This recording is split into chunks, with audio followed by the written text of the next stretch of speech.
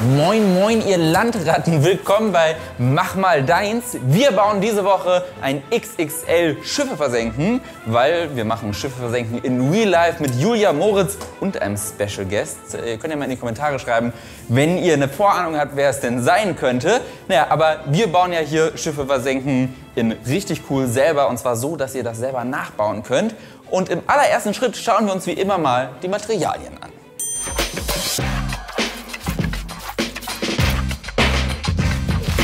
So, was brauchen wir für unser Schiffe versenken? Also wir brauchen so ein bisschen Styrodur, also kein Styropor, sondern Styrodur. Das ist ziemlich stabil, lässt sich sehr gut verarbeiten. Dann brauchen wir ein bisschen Holz. Wie immer ist übrigens in der Videobeschreibung ein Link, wo die ganzen Maße auch drin sind. Einfach mal reinschauen. Dann, wir brauchen Cuttermesser. Wir brauchen einen 6 mm Bohrer und einen 3 mm Bohrer. Wir brauchen so einen Aufsatz für die drei Schrauben, die wir verwenden. Die Größe ist da jetzt nicht so wichtig. Wichtig ist nur, dass wir die beiden Bretter nachher so aneinander machen wollen, äh, dass das passt. Außerdem brauchen wir eine Spraydose mit möglicherweise blauer Farbe oder wie auch immer ihr das Ganze gestalten wollt. Ein bisschen Farbe, Pinsel.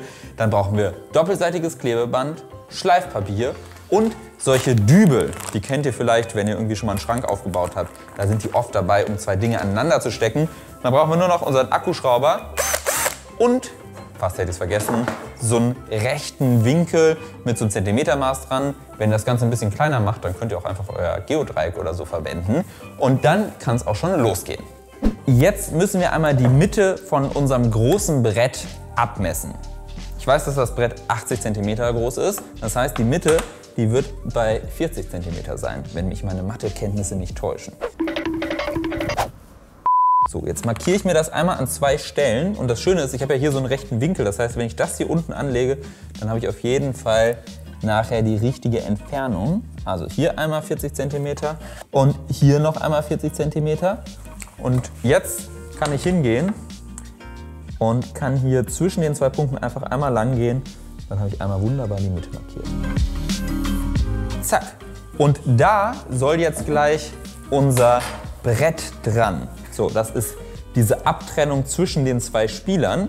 Und damit das Ganze hier nachher nicht zerreißt, wenn wir das festschrauben, da müssen wir einmal kurz vorbohren. Und hier gibt es einen ganz, ganz simplen Trick. Und zwar lege ich die Bretter jetzt direkt nebeneinander zum Vorbohren und gehe einmal hin, wo möchte ich denn eigentlich genau bohren. Dann soll ich einmal so hm, drei Schrauben möchte ich reinmachen. Das heißt einmal hier mache ich eine Markierung einmal hier genau in der Mitte so ungefähr und hier nochmal ein bisschen am Rand.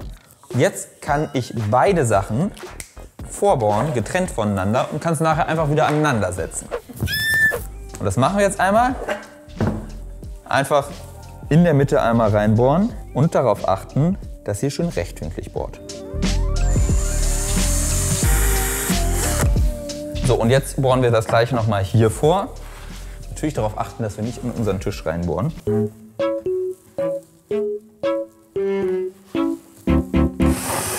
Oh. No!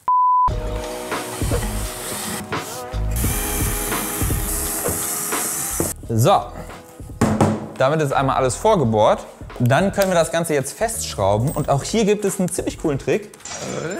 Und zwar schrauben wir jetzt einmal unsere Schrauben so ein bisschen rein schon, dass sie einen Millimeter da rausgucken.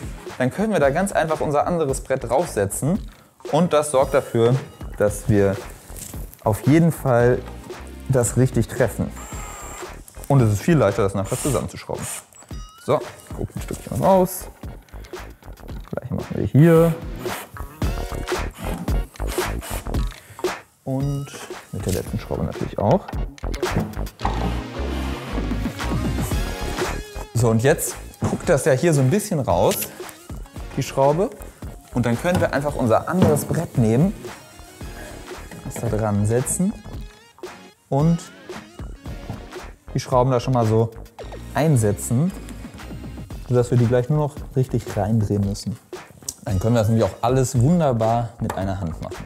Also mit zwei Händen, aber mit einer Hand halten, mit der anderen schrauben. So, hier schon wieder ein Tipp und zwar, ihr seht, das ist gerade auf Bohren gestellt, aber wir wollen natürlich was reinschrauben und wenn ich das jetzt ein bisschen runter drehe und dann zu fest reinschraube, dann seht ihr, der schraubt nicht mehr weiter. Das hat einfach den Vorteil, dass wir unsere Schraube halt da nicht zu weit reinjagen, weil das ist auch nicht gut fürs Holz. Das heißt, ich kann das jetzt ansetzen, kann schrauben, kann voll durchdrücken. Und wenn er zu viel Widerstand spürt, dann ähm, hört er auf zu schrauben. Jetzt guckt die da noch ein bisschen raus. Ich stelle es mal ein bisschen stärker ein.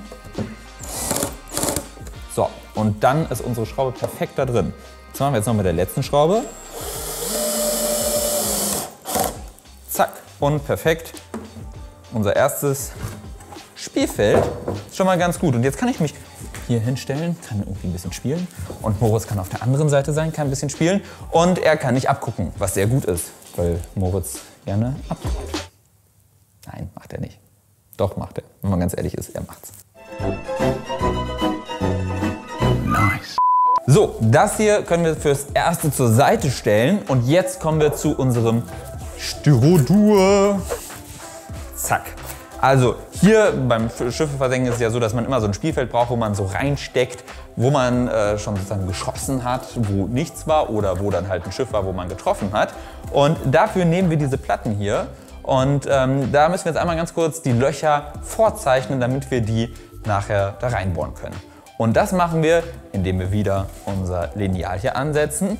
Auch hier nochmal der Tipp, so ein rechter Winkel, der hilft dabei extrem. So, unsere Styrodurplatten sind 40 cm breit.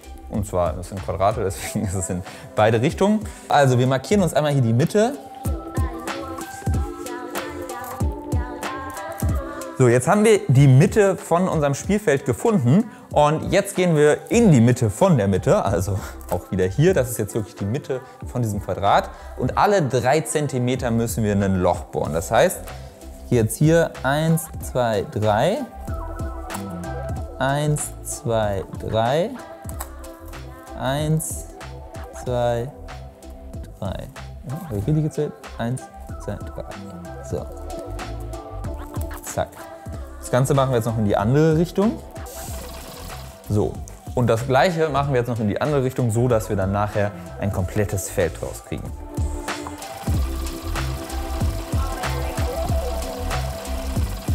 Markiere das Ganze jetzt hier einfach, also ich mache mir einfach so ein Rasterfeld da drauf. Dann weiß ich nachher, wo ich bohren muss. Und an der Stelle mal ein kurzer Tipp, wenn ihr diesen rechten Winkel verwendet, ihr könnt ihn so ein bisschen wie überlappen lassen und wenn ihr den dann an die Seite anlegt, dann seid ihr auf jeden Fall immer im rechten Winkel.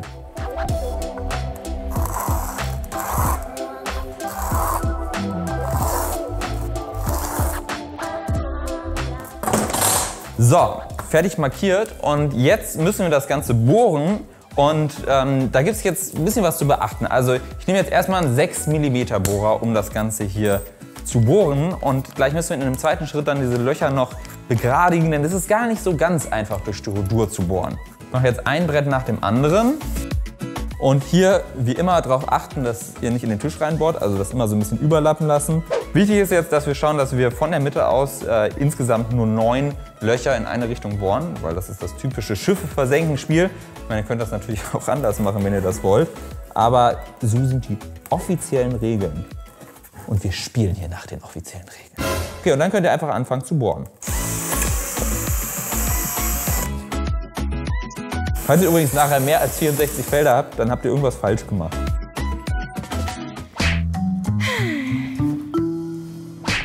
So, die Löcher sind gebohrt und jetzt gibt es halt einen Trick, weil die sehen ja nicht so richtig, richtig schön aus. Man nimmt so einen Dübel, spannt den in die Bohrmaschine ein. Achtet darauf, dass das gerade ist. Okay. Und dann könnt ihr bei den Löchern einfach nochmal mit dem Dübel nachgehen. Dann sind die so richtig schön rund. Wenn man jetzt schaut, sieht es schon deutlich besser aus.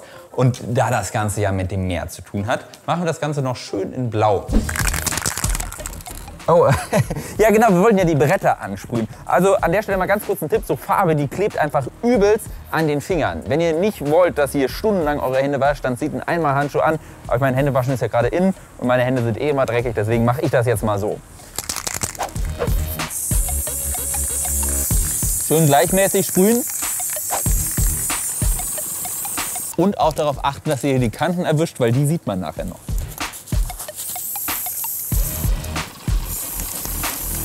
So.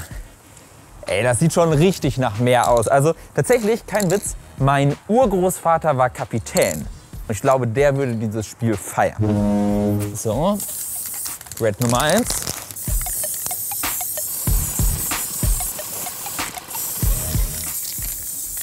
So, das Ganze lassen wir jetzt mal ganz kurz trocknen und dann geht's drinnen weiter. So, wir zeichnen jetzt unser Feld ein und dafür nehmen wir wieder unseren rechten Winkel, legen den hier an der Seite an, so dass es schön rechtwinklig ist. Und dann ziehen wir einfach mit dem Edding unsere Striche. Ja. Zack. Das machen wir jetzt ganz, ganz oft und dann ist unser Spielfeld fertig. Geil. So, und das mache ich jetzt noch tausendmal. Wir markieren unser Spielfeld. Wir haben neun Reihen und machen auf der anderen Seite natürlich A, B, C, D, E, F, G, H. Irgendwas kam denn nochmal? Ah, das I. So, jetzt haben wir das Ganze auf dem Styrodur eingezeichnet. Jetzt machen wir das Ganze exakt so nochmal beim Holz. So, letzte Linie. Jetzt zeichnen wir auch einmal hier kurz ein oder tragen ein, was die Felder sind. Also eins, zwei, drei, vier, fünf, sechs, sieben, acht. Ich habe ein Feld vergessen. So, zack, fertig. Ich habe jetzt übrigens hier mit Klebeband einfach nochmal so eine kleine Umrandung gemacht, weil ich einfach fand, dass es schöner aussah und ich halt nicht so ganz, ganz genau gezeichnet habe. Äh, aber ihr könnt im Endeffekt total kreativ werden. Also ihr könntet auch überlegen, ob ihr euch da irgendwie was am Computer designt und ausdruckt oder so. Im Endeffekt geht es einfach nur um das Prinzip vom Spiel. Und jetzt haben wir unser Spielfeld soweit, so gut fertig, müssen das ganz am Ende noch finalisieren und brauchen unsere Schiffe, denn was wäre Schiffe versenken ohne Schiffe? So, kommen wir zu den Bötchen, denn Schiffe versenken ohne Schiffe wäre irgendwie total absurd. Genau, und die machen wir auch aus Styrodur und dafür zeichnen wir jetzt einfach die unterschiedlichen Bötchen an. Ich beginne mal hier mit einem Schiff, 15 cm lang, das ist das größte Schiff, und 2 cm breit. Perfekt getroffen. Jetzt schneiden wir das Ganze hier erstmal mit dem Cutter natürlich immer vorsichtig sein. Und ganz wichtig, wenn ihr jetzt schneidet, macht nicht diesen Fehler hier, sonst kommt ihr gleich in den Daumen rein, sondern einmal hier in die Richtung, wo ihr nicht schneidet, die Finger halten. Und dann gehe ich hier so lang. So. Das mache ich jetzt ein paar Mal. Und irgendwann merke ich, ich bin durch. Zack. Hier bin ich jetzt schon mal durch. Und jetzt noch die andere Seite. Und zack, fertig ist mein Bötchen Nummer 1. Da kommt jetzt der nächste Trick. Styrodur hat diese wunderbare Eigenschaft, dass man das so schön schleifen kann. Und wir schleifen da jetzt so eine Bootsform draus. Ihr könnt da total kreativ werden, was die Form angeht. Ihr müsst ja auch keine Schiffe nehmen, wenn ihr irgendwie was anderes versenken wollt. Da ist eurer Kreativität keine Grenze gesetzt. Und schreibt gerne mal in die Kommentare, wie ihr euer Schiff bauen wollt. Oder was es dann halt ist. So, das sind all meine Bötchen, die ich hier habe. Also hier habe ich zwei kleine Bötchen, dann zwei mittelgroße Bötchen, zwei längere Bötchen und dann habe ich noch meine ganz langen Bötchen. Hier sind jetzt unsere besprayten Boote und was wir jetzt natürlich noch machen müssen, ist, wir müssen die so anbohren, damit die halt nachher genau diese Löcher haben wie auf dem Spielfeld. Das wird jetzt ein bisschen klarer, wenn ich das Spielfeld mal kurz hochhole. Also, ich nehme jetzt das Schiff und lege das hier drauf und ihr seht, ah, okay, das ist halt sechs Felder lang. Und ich muss ja dann markieren können, hier wurde ich getroffen, da wurde ich getroffen, da nicht, da wurde ich getroffen, da nicht. So, ne?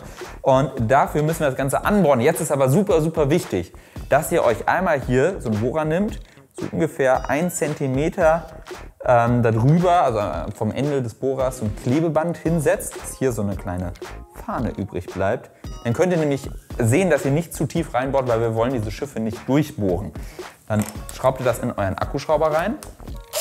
Jetzt schrauben wir das hier rein und wir übertragen natürlich die Löcher so, wie die hier sind.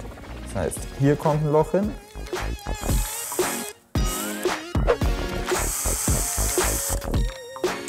Und wie vorhin auch, nehmen wir jetzt unseren Dübel und machen damit die Löcher schön.